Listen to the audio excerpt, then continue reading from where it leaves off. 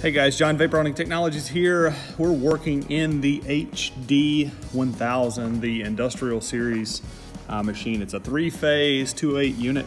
Um, right now we're running the least aggressive abrasive, um, the glass bead abrasive in the cabinet. What we're doing is we're cleaning up uh, particular casting here. Um, this is a transmission part.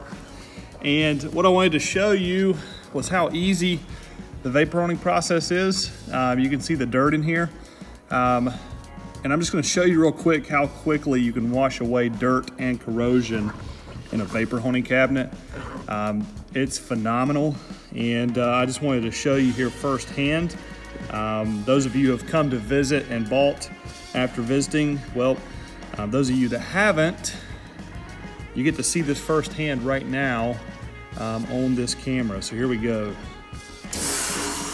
Um, this stuff washes away so quickly and so easily. And on a complex part like this, uh, with all these little deep valleys and grooves, this is really where the vapor honing process excels. Um, it really gets down in those deep grooves and valleys, really rinses and washes away.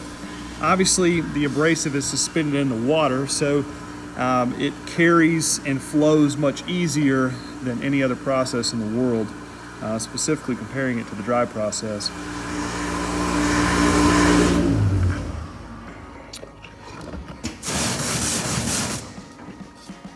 I mean, look at that.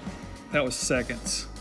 I mean, it's incredible. You can imagine doing this part by hand, uh, maybe 10 to 15 minutes to do a really good job. I mean, a really good, fantastic job. I'm really OCD with this process, so I like it to be completely squeaky clean.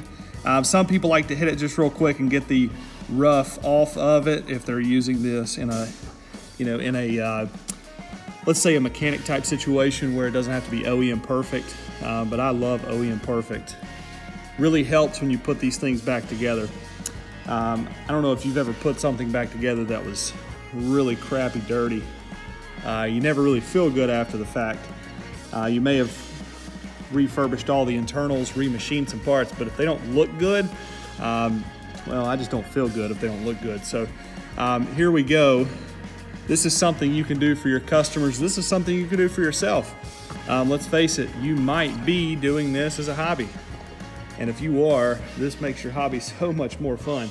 Um, I cannot tell you how much more fun you will have just because you can clean stuff up easy. Um, I've always told people before, walk into a junkyard, find the nastiest, dirtiest thing, and I guarantee you can clean it up in a vapor honing system. And there's our part. Look at that. It's incredible, isn't it? It's not even rinsed off yet. I'm gonna shoot in these areas, clean it up. Um, but what a life changer this process can be for you. I mean, life changing. There's nothing you cannot put in this cabinet and clean up. Guarantee it.